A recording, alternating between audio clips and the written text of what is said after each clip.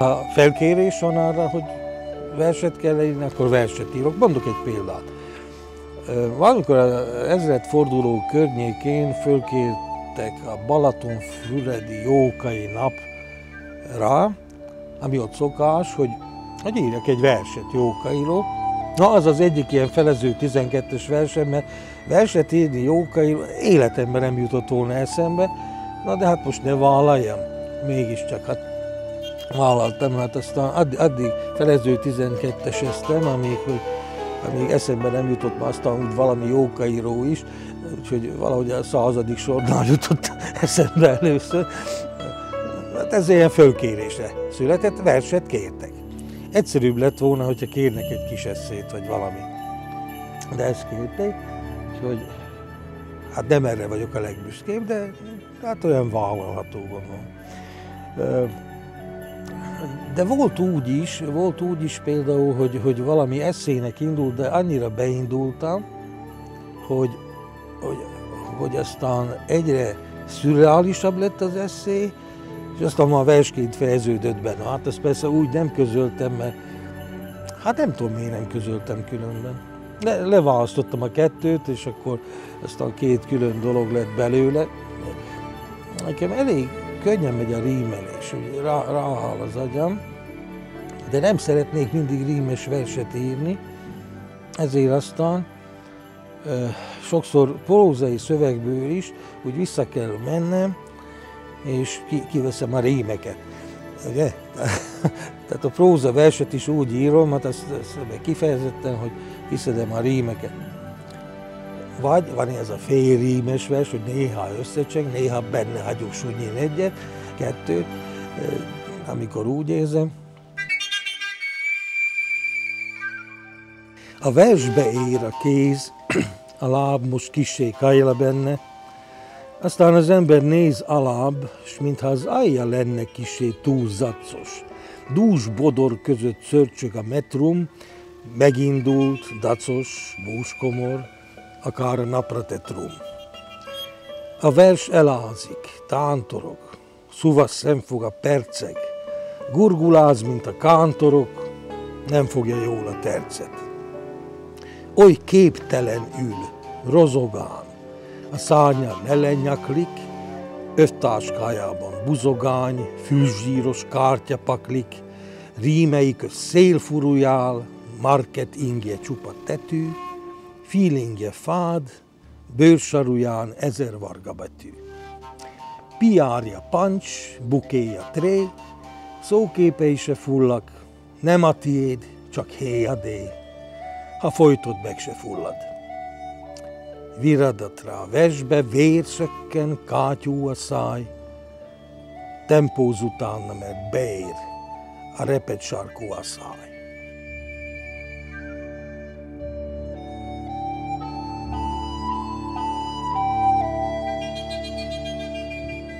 Délgömörben születtem, a szülővárosom Rimaszombat, de ehhez nem fűz több, mint hogy ott születtem.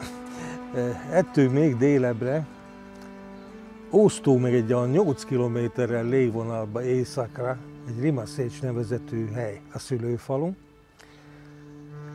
A Szécsiek ősi fészke különben, valamikori ötgomörű városból az egyik, de hát mostanra ez már egy, egy falu.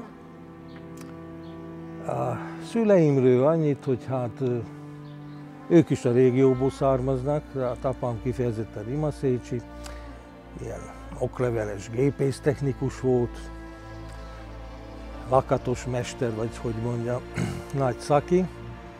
Ilyen követem a nyomát, itt a házon látszik, hogy az átépítés során magam is igyekszem hasznosítani mindazt, amit tőle összeszedtem. Anyám pedig hát sokáig háztartásbeli volt, aztán még aztán pedig könyvelőként dolgozott egy helyen. Hizsnyai Zoltán családjára munkás környezet volt a jellemző, emlékszik vissza. Felmenők között voltak kohászok, bányászok, dohánytermesztők, Onnan kapták a nevüket is. Pontosabban Hizsnyóbányáról és a Hizsnyó vízről. De mi keltette fel a figyelmét a fiatal Hizsnyai Zoltánnak az irodalom iránt? Kérdezem a József Attila díjas költőt. Anyámnak volt egy ilyen polgári iskolai tankönyve, illetve hát a tankönyv mellé kiadott ilyen, ilyen füzet, amiben a Toldi, komplet az első, tehát a Toldi című izé volt benne. Nagyon sok lábjegyzettel, tehát abból meg lehetett tudni érdekes régi szavakat, történelmi hátterét a dolgoknak. És ilyen romantikus metszetek voltak benne, tehát egy viszonylag szép kiadvány. És én azt elkezdtem olvasgatni. Úgyhogy ez volt a találkozásom az irodalommal, tulajdonképpen még iskoláskor előtt. Ezt meg is tanultam így fejből, úgyhogy ez a, lehetett engem szerepeltetni. Anyám úgy az utcán jöttek a barátnők, akkor mondta, hogy na Zolika, mondja csak egyet, és akkor én belefogtam itt vagy ott, ahol éppen kedvem tetszett. Valahogy úgy vagyok vele, hogy ez a felező 12-es azóta is annyira fülemben van, hogy túl könnyű, nem is merek. Azt hiszem, hogy, hogy két-három versem lehet olyan, amit ebbe a formába írtam, de túl könnyen jön nekem.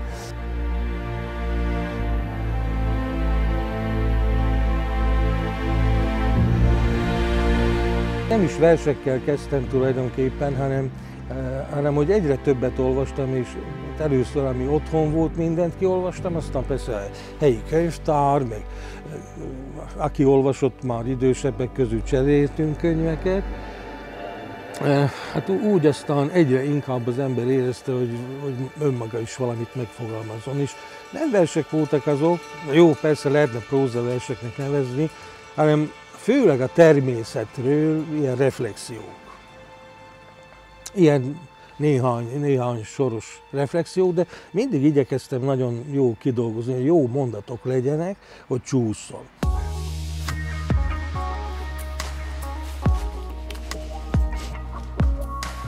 Mint például a Tílidő Mixer című nemrég megjelent írása, ami egy Madács Imre tiszteletére összeállított antológiában jelent meg.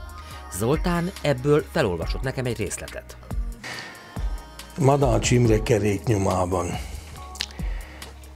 Csesztve és alsó sztregovak között kerekezek, de a szülő és nyughelyről még ki se hajtok, már is épp a közbülső állomásról indulok vissza megszületni, vagy halni. Hosszú, szívós kapaszkodón kaptatok fel a fenyvesek közé ékelt szikár Stregovára, és vissza a cseresznyés kertek alatt bóbiskoló csesztvére. Egy ugyanazon időben az idők szaporán szertehindázó mutációinak egymásba gabajodó, fullasztó dzsungelében, az idő egyetemének tagolatlan mozdulatlanságában.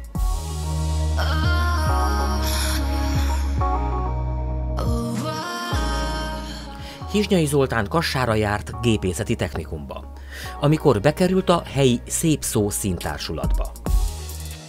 Akkor komoly karriert futottunk be, különben Magyarországra is gyakran jártunk, itt a 70-es évek közepét, 80-as évek elejéig kell elképzelni. Mindig ott voltunk Balassagyarmaton is, az országos kis színpadi fesztiválon, vagy hogy hívták. Meg itt is a Jókai napokon, ide Komáromba jártunk, de, de, de föl, fölléptünk még az egyetemi színpadon is, egész estét betöltő műsorral, a Kalevala és a Gilgames két eposz volt, egy ilyen bő egy órában megcsinálva, ilyen mozgásszínházi valami. No, szóval ott találkoztam ezzel a közeggel, és persze mondtunk verseket is, tehát voltak olyan összeállításaink is, és hogy, hogy azt találtam ki, akkor már olvasgattam ilyeneket, hogy a Brúki színházról, Brecht, Grotowski, mind, minden, amit akkor el lehetett érni, és és nem, most magam sem emlékszem, hogy a saját ötletem volt-e, vagy, vagy egy ilyen rendezői instrukció, de én elkezdtem megírni a versmondásomra ítélt verseket a saját szavaimmal.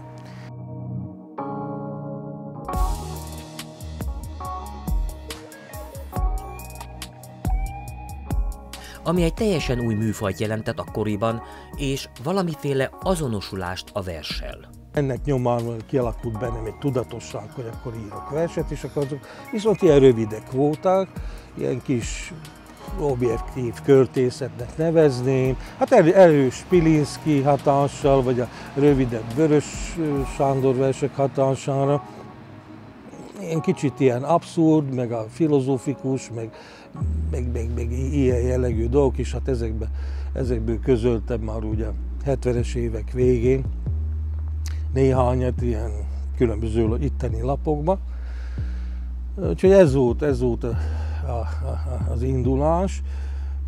Ja, és hát az még fontos, hogy végig a középiskola alatt ebben a színházban voltam, mert és ez az iskola Kassai Ipari ugyanabban az épületben van, amelyben a Kassai Itália Színház.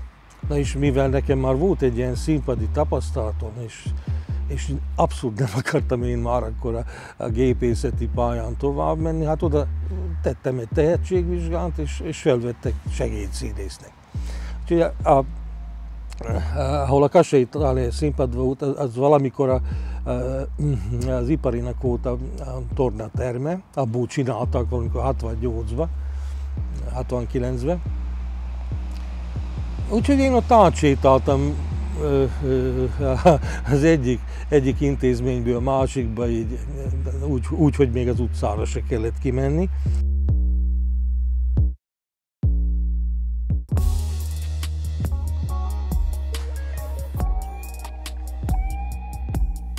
Ezt követte egy két évig tartó katonaság, majd újra a színpad, de szolidaritásból mindössze 24 évesen felmondott. És soha többet nem került vissza a színpadra Hizsnyai Zoltán, maradt az irodalom, ami azóta is a küldetése. De ugyanakkor meg is kellett valamiből élnie, ami már elég nehéz volt. A 80-as évek, 70-es évek végétől úgy nézett ki, hogy a hogy volt valami 20 munkahelyem, magam se tudom összeszámolni. Voltam éjjeli őr, építkezésen, gombaszögön is. Szoktam mondani, hogy ott van a teátrum mellett, én őriztem a teát meg a rumot, úgyhogy az is, az is meg volt. Voltam cukorgyári munkás, fűtő, a franc tudja, nem is tudom összeszedni. Ja, vasgyárba is dolgoztam, a Kassai vasgyár kokszolójába egy évecskét, a pokol ahhoz képest pionírtábor.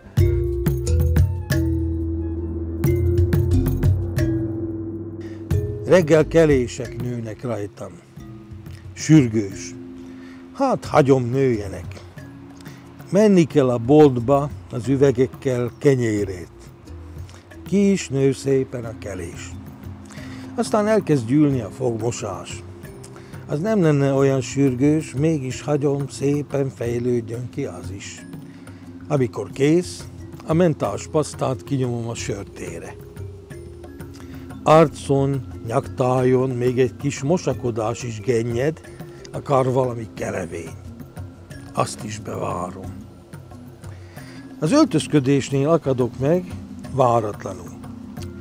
Várom, hogy öltsön, öltögessen, hogy öltözzön már össze, aztán öltsen fel, öltsön fel végre, de meg sem otszan. Hát jó, mi más tehetek? Hagyok elrohadni egy kevés időt. A kis mutatót lerágja a lepra, és már-már eloszlik a vekkel, de semmi öltés, csak a tépések. Foszlik a szerda, mint a többi. Magasan rókázik már a nap. Aztán lekókad a szemhatár mögé, végül azok a nagy zápult felhők is letöredeznek a horizont pereméről. Szörcsögő erjedéssel bomlik az éjszaka, fehér folyás fenn a tejút, alatta Mács kis vörös penésztelepével. A szél még csak most bugyog föl a fias csúk ülepe alól, de a sarkon már is csuklik egy autóbusz. És most végre felölt. Mintha egyszeriben jó kora karbunkulus csattanna ki egy feszes dekoltáson. Nincs mese. Indulni kell röfögni a gyaurba. Az utca végén egyszerre kipörsen egy sárga villamos, kifingik a zajtó, aztán a zakat. A sűrű böfögésből lassan fölé a kémény. Jöhet a dagonya. Itt tetvesedik meg az agyam a kinyomatlan szavak serkéitől. Itt folyt meg a vadász, ki az évek során minden töltényét kilőtte már rám, de a fülem árnyékát se lyukaszthatta ki. Most hagyom, tegye rám a mancsát, hullagörcsével szorítsa ki belőlem a szuszt. Bele a sár. Megint.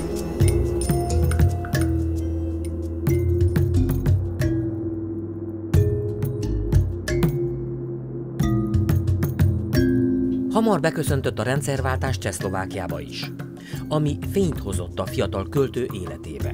Nekem már megjelent két kötetem, és hát az elsőt mindjárt eh, Balakalman, másodikat Grendel Lajos szerkesztette, és akkor a Lajos lett a Grendel a főszerkesztő az irodalmi szemlébe mindjárt rendszerváltás után, és ő oda vett engem.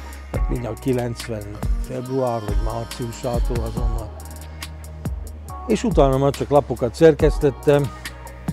Először két éven át az Irodalmi Szemle nevű kulturális lap szerkesztője, majd főszerkesztője volt, amelyet követően alapító szerkesztője a Kaligram nevű irodalmi folyóiratnak. Nagyon sok volt a munka, ez volt a Mecsiár korszak, különben nagyobb rész, és rettenetesen kevés volt a pénzünk, a fizetésünk, mindenféle lehetőségünk. Hizsnyai Zoltán a szerkesztés mellett folyamatosan írt. Az elmúlt évtizedek alatt közel 20 kötete jelent meg. Köztük a Rondó, a Tolatás, a Stigma krátere, a Bárka és a Ladik, az Ének, a Próbaút, vagy éppen a Helyettem én című könyv.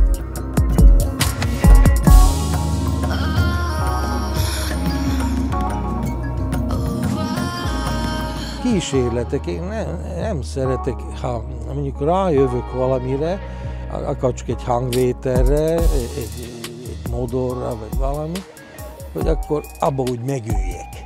És akkor abba úgy csináljam, gyártsam, hogy szakadjon le az asztal annyit belőle, hanem ezt én megúnom, és én nem azért csinálom alapjában, hogy erre úgy önvizsgálatból rájöttem, hogy nem azért csinálom, hogy nevem legyen vele, vagy valami, ez egy ilyen